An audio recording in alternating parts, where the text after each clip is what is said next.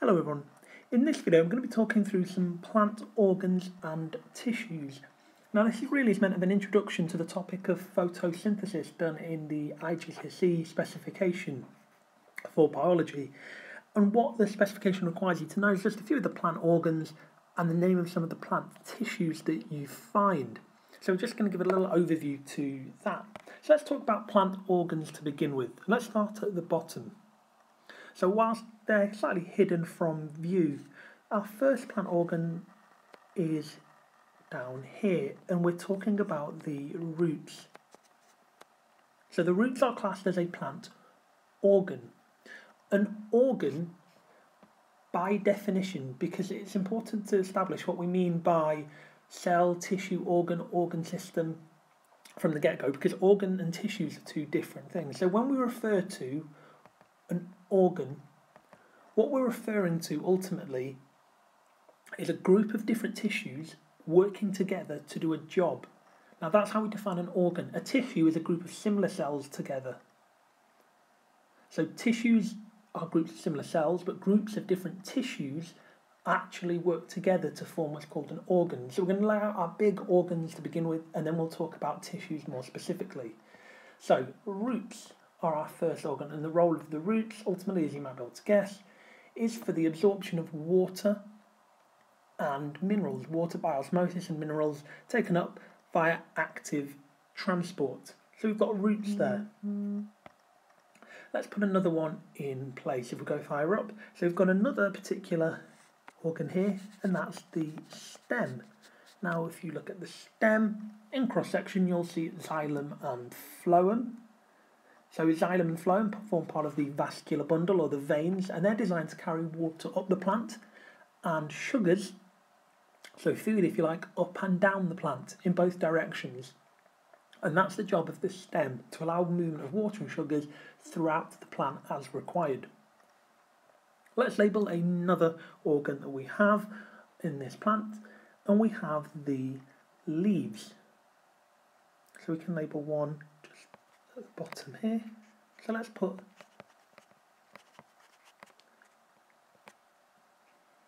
a leaf in place. Now, as we know, the job of the leaf is to attract or to absorb sunlight basically.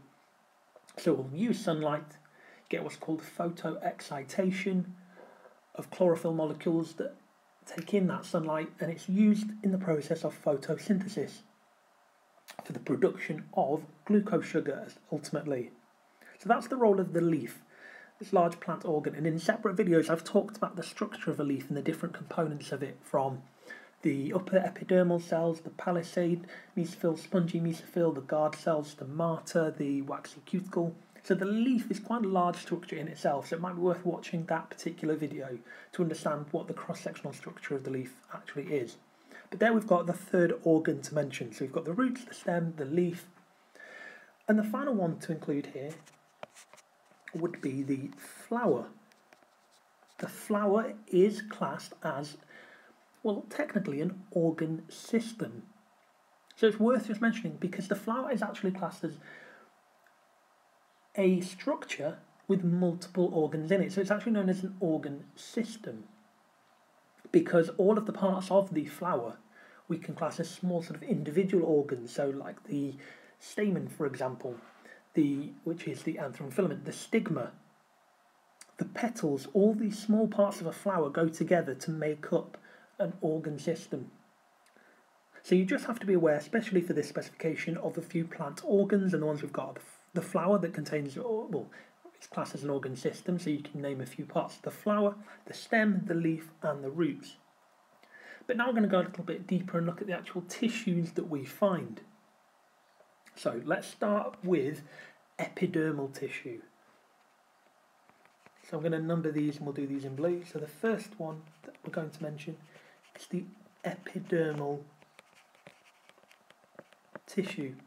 Now, epidermal tissue is protective. It covers the root, it covers the stem, and it covers the leaf, or leaves rather.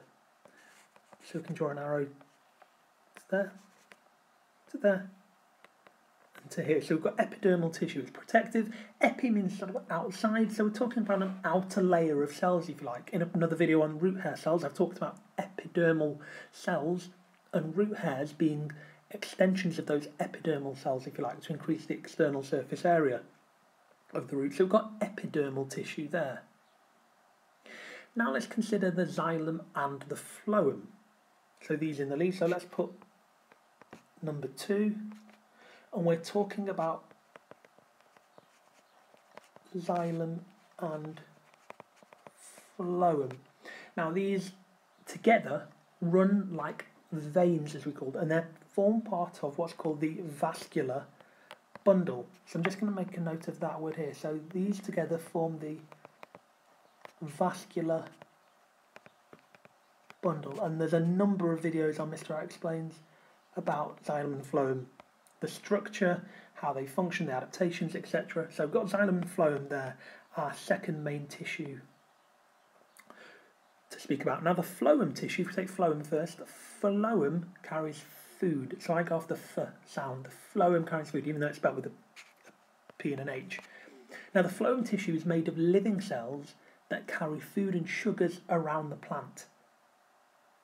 So I'll just make a little side note. So the phloem ultimately is carrying sugars and it's made of, as I've said, living cells. Now I do go more in depth on a separate video about xylem and phloem, but we'll make a note just for completeness sake here. The xylem tissue, however, is made of dead cells that form hollow tubes from the root up through the stem to the leaves, and they carry water and minerals throughout the plant. So they're going from the root all the way up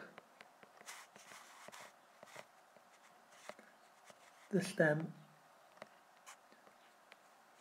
and to the leaves. So the xylem, just make a note, they are for carrying water and they are made of dead cells. So this xylem tissue has dead cells within it. Together we call that the vascular bundle. And the third tissue type that's important to be aware of is mesophyll tissue. So let's put that over here. So we've got what's called mesophyll tissue. Now, the mesophyll tissue we can really branch into two. We can talk about palisade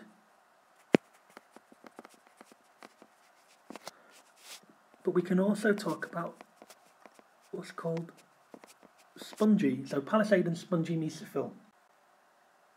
Now, as I said, it would be worth uh, watching the video on the cross-sectional diagram of the leaf just so that you're aware of where these types of cells are found. The palisade cells, particularly important, they're found in the upper surface of the leaf, so just beneath the upper epidermal cells, which are basically a single transparent transparent layer of cells that allow sunlight to pass through to get to these palisade cells. They contain chloroplasts, so a high number of chloroplasts, to absorb the sunlight for photosynthesis.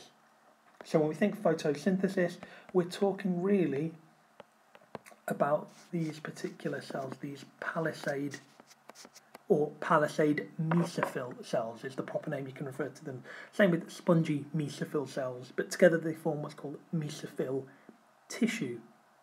So the tissue, you've got two types of cells, palisade and spongy, and the palisade are the ones that have the vast number of chloroplasts to absorb sunlight for photosynthesis. So there we have a little bit about plant organs and plant tissues. So our big organs, the flower, technically classed as organ system, the leaf, stem and roots, and then we've got specific tissue to mention, so the epidermal tissue, the xylem and phloem tissue, which together form the vascular bundle, and the mesophyll tissue made of the spongy and palisade cells. Okay, hope all that helps.